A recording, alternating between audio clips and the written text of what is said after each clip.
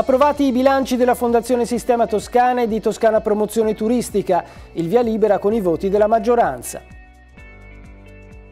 Procreazione assistita, approvata la mozione presentata da Italia Viva, il sì all'unanimità del Consiglio regionale. Buonasera, bentrovati a questo nuovo appuntamento con Monitor Consiglio. Con 20 voti favorevoli e 16 contrari, il Consiglio regionale della Toscana ha approvato il bilancio di esercizio della Fondazione Sistema Toscana. Contestualmente all'approvazione è stata indicata la necessità di eh, specificare nel programma di attività gli investimenti da realizzare e la quantificazione delle risorse. La Fondazione, lo ricordiamo, ha lo scopo di promuovere il sistema territoriale toscano con strumenti di comunicazione nell'ambito del web 2.0 e della comunicazione digitale. Sentiamo le interviste. Sì, un'approvazione diciamo, un po' tormentata, molto contestata, eh, in realtà l'unica pecca che ha è, una, è di essere un'approvazione eh, tardiva perché era il bilancio del 2020 che ha avuto alcune eh, vicende ehm, che hanno richiesto approfondimenti, ma ad oggi il bilancio è prima cosa un bilancio inutile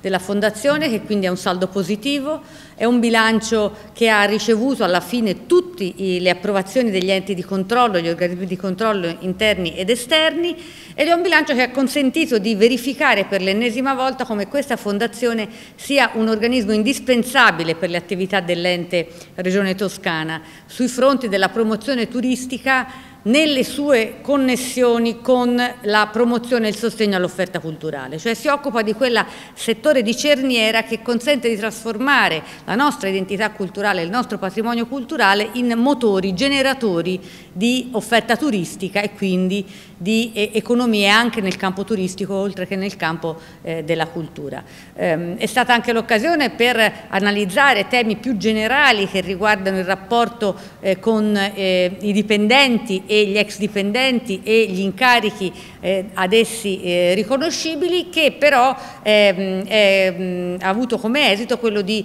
essere ricondotta nell'alveo della, nell della prima commissione per una discussione più generale e quindi il bilancio è stato approvato con soddisfazione eh, a maggioranza e mh, ci porta adesso ad attendere eh, i bilanci di, di, preventivi per le attività del 2022 della Fondazione Sistema Toscana. Il nostro voto è stato negativo. Infatti è emblematico che oggi, marzo 2022, si voti l'approvazione del bilancio di Fondazione Sistema Toscana del 2020. Ci sono state varie problematiche, infatti già a settembre sono state chieste integrazioni e modifiche che poi sono arrivate a gennaio, diciamo che è stato detto che le cose andavano bene. L'abbiamo votato in commissione la, qualche giorno fa, è passato a maggioranza, noi diciamo cosa c'è che non va in Fondazione Sistema Toscana, qualcosa c'è che non funziona, lo dicevamo anche negli altri anni, va avanti con il 90% di soldi regionali, quindi è giunto il momento di fare una riflessione su questa fondazione e anche su Toscana Promozione, perché per certi versi si assomigliano e quindi secondo noi forse ci vorrebbe un'unica regia. Nel marzo del 2022 ci siamo ritrovati a votare il bilancio 2020 della Fondazione Sistema Toscana, che è una fondazione partecipata all'83% dalla Regione Toscana, quindi una fondazione quasi esclusiva proprietà della Regione e, e, questo ci ha un po' insospettiti, siamo andati a spulciare, a controllare come mai nel 2020 il bilancio dal 2020 arrivi oggi e ci siamo accorti che quel bilancio intanto ha due pareri negativi ricevuti dalla direzione bilancio della Regione. Eh, non solo, guardando i bilanci ci siamo accorti per esempio che nel 2017 nonostante la Regione abbia stanziato 5 milioni e 200 mila euro di denaro pubblico a Fondazione Sistema Toscana, ne sono serviti un ulteriori 620 mila per colmare un buco di bilancio.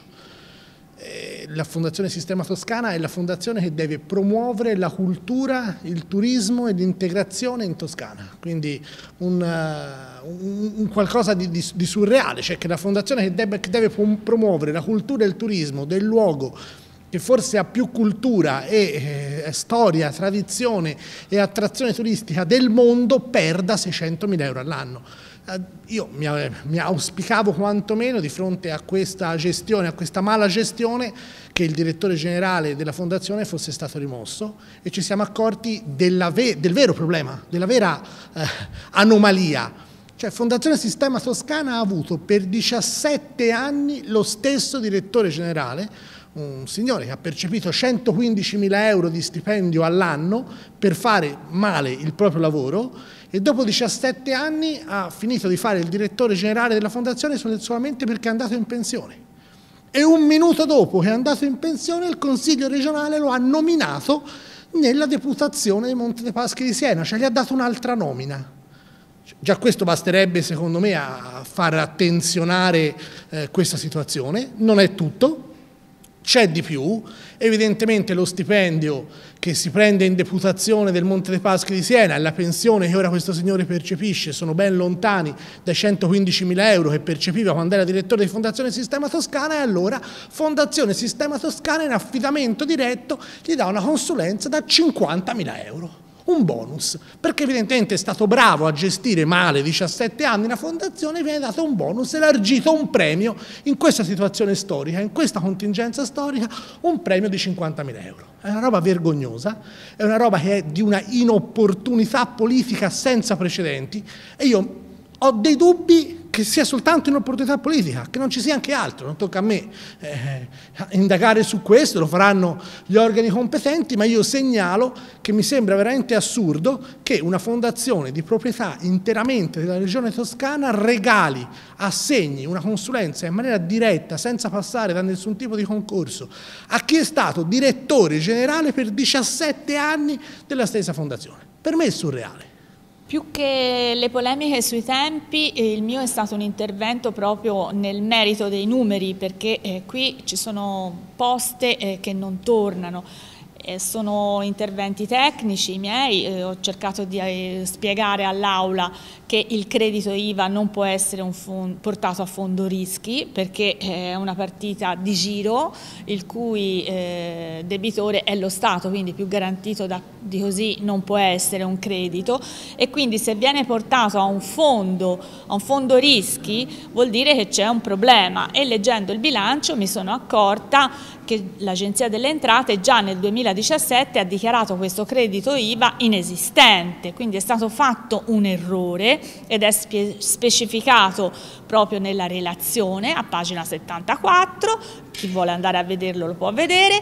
che è stata considerata detraibile l'IVA su spese di missione. Le spese di missione sono spese di viaggio, ristoranti e hotel. Esiste una legge dello Stato che dice che l'IVA su queste spese è indetraibile. Ora mi domando come una fondazione possa fare un errore simile. Questo è stato appurato nel 2017, tutt'oggi eh, questo credito IVA è in bilancio, quindi vorrei capire quando verrà eh, portato a perdita e verrà sicuramente sistemato eh, il bilancio. Ma non solo, questa fondazione è una duplicazione eh, di, un di, un altro organismo come Toscana Promozione e Sviluppo, hanno praticamente le stesse eh, finalità, mh, mm, leggere, ehm, si discostano leggermente, però le risorse che impiegano sono ingenti, si parla di 10 milioni di euro l'una e 9 milioni di euro euro. L'altra, Fondazione Sviluppo Toscana, è finanziata per l'87% dalla Regione Toscana, quindi sono soldi pubblici che eh, in questo momento di crisi potrebbero essere dirottati su aiuti a favore delle famiglie che non riescono ad arrivare in fondo al mese, alle imprese che si trovano di fronte ai maggiori costi per, energie, eh, per l'energia elettrica, quindi non eh, capisco come mai non si arrivi a una razionalizzazione delle, delle risorse e anzi si, si, usino queste fondazioni un po' come eh, dei meccanismi mh, per creare lavoro. Mh, non solo ai 71 dipendenti, ma anche a consulenti esterni, perché la società, la fondazione scusate, ha ben 4 milioni e 600 mila euro di consulenze che non vengono nemmeno specificate nella relazione. Per questo ho fatto una, una specifica richiesta di accesso agli atti perché voglio avere i dettagli di dove sono andati a finire quei 4 milioni e 600 mila che non si sono verificati soltanto nel 2020 ma anche gli anni precedenti. Quindi qui c'è un problema di gestione, non di dipendenti, perché i dipendenti eseguono essenzialmente il lavoro che gli viene eh, fatto e richiesto, eh, gli viene richiesto. Quindi il problema è la gestione, come dicevano anche altri colleghi in aula, non si capisce perché in 17 anni è stato mantenuto sempre lo stesso eh, dirigente. Seduta dedicata all'approvazione dei bilanci perché è stato approvato dal Consiglio regionale anche il bilancio di previsione 2022 di Toscana Promozione Turistica. Il via libera all'atto illustrato da Mario Puppa, consigliere del PD, è arrivato con 20 voti favorevoli e 14 contrari. L'agenzia, lo ricordiamo, svolge attività di promozione turistica attraverso l'organizzazione diretta di iniziativa e la partecipazione a progetti di promozione anche di altri soggetti pubblici, anche in questo caso le interviste previste. Il Consiglio ha approvato il parere sul bilancio di previsione di Toscana Promozione Turistica, che è un'agenzia eh, di fondamentale importanza, soprattutto in questo momento di ripartenza, perché veniamo da due anni di Covid che hanno messo in ginocchio il nostro sistema turistico, è un bilancio che logicamente è ancora di transizione, che porta 10 milioni in dote appunto per trovare diciamo, stimoli e progetti per il rilancio di un settore che è fondamentale per tutti noi. Ma eh, Toscana Promozione è un ente pagato profumatamente dalla Regione Toscana che si occupa di promuovere il turismo per quanto la Regione Toscana. È paragonabile al Ministro del Petrolio per i paesi arabi perché evidentemente il nostro petrolio è il turismo. Noi abbiamo un giacimento petrolifero non in ogni città, non in ogni comune, ma in ogni borgo, in ogni piazza. Ecco, pensiamo che Toscana Promozione faccia molto male il proprio lavoro, che ci sarebbe da poter eh, avere avere un intervento molto più efficace, molto più importante, per questo abbiamo votato convintamente contro quel bilancio, così come abbiamo votato contro il bilancio dell'Agenzia regionale toscana per l'impiego, ma soprattutto noi siamo rimasti profondamente delusi dall'assenza di dibattito in aula. Oggi in aula è venuto il bilancio di Toscana Promozione, quindi del Ministero del Petrolio per quanto riguarda la nostra regione e dell'Agenzia che si occupa di impiego in un momento in cui il problema più grave che si chiede a un bambino di quinto elementare o a un pensionato è il lavoro. Ecco, non possono passare così in maniera eh, superficiale dal Consiglio regionale senza un dibattito eh, importante, senza una riflessione importante sul ruolo di queste due entità che in questo momento dovrebbero essere due dei eh, pilastri su cui appunto la nostra regione si fonda.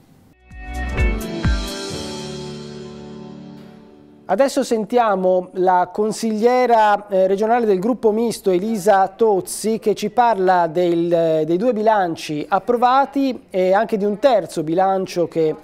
è stato licenziato dal Consiglio regionale, quello preventivo dell'Arti, l'agenzia eh, regionale per l'impiego. Sentiamo.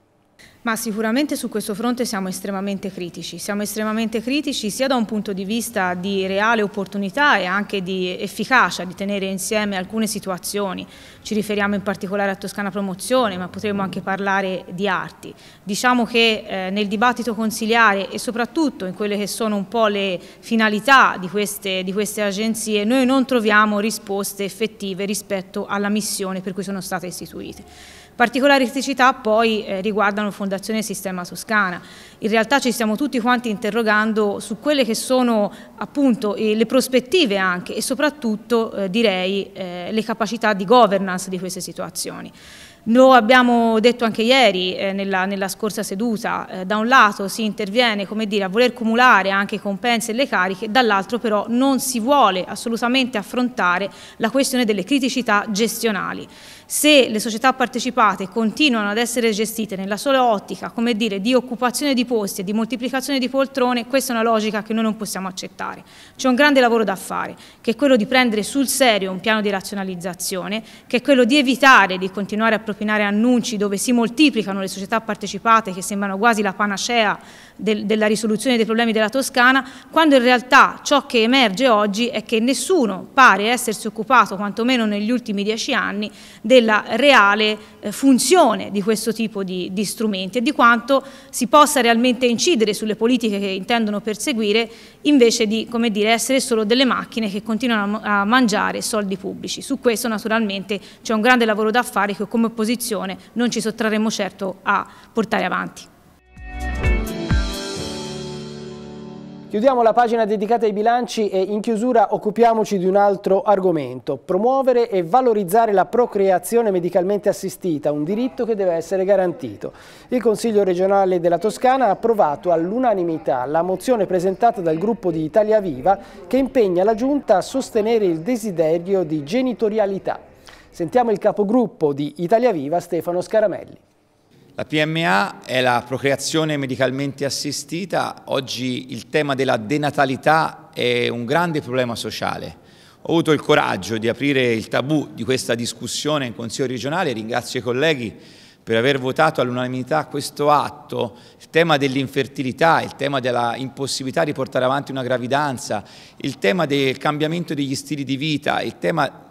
forte che c'è sul fatto che la denatalità sta producendo un impoverimento della società, se non nascono i bambini è un tema che tra un po' di anni ci si presenterà proprio anche in termini sociali collettivi, abbiamo portato delle misure e proposto al Consiglio di impegnare la Giunta rispetto ai riconoscimenti di Lea, rispetto alle questioni di carattere ambulatoriale o alle questioni di carattere di ricovero, rispetto al tema dei, delle attività convenzionate, dell'equilibrio fra centri pubblici e privati, temi del personale, tante sono le questioni che oggi impediscono, penso anche alla pubblicizzazione, anche alla sensibilizzazione di temi così importanti per consentire alle persone di maturare quello che è un diritto di carattere individuale, in particolar modo alle donne di portare avanti le gravidanze. Il tema dell'infertilità si lega anche molto alle questioni degli stili di vita, quindi serve informazione, serve promozione, serve affrontare il tema del tabù della donazione, ma soprattutto serve consentire e favorire quella che è una procreazione che può aiutare tante donne e tanti uomini in Toscana. È tutto per questo appuntamento con Monitor Consiglio, grazie per l'attenzione e buona serata.